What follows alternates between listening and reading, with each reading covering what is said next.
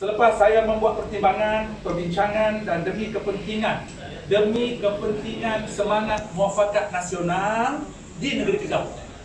Saya bimbang isu saya ini, isu ini akan menyebabkan hubungan UMNO dan PAS retak serta dingin. Oleh itu maka dengan ini saya meletakkan jawatan saya sebagai pegawai atas kepada Yang Mahkamah Menteri Besar Kedah berkuasa serta merta pada hari ini.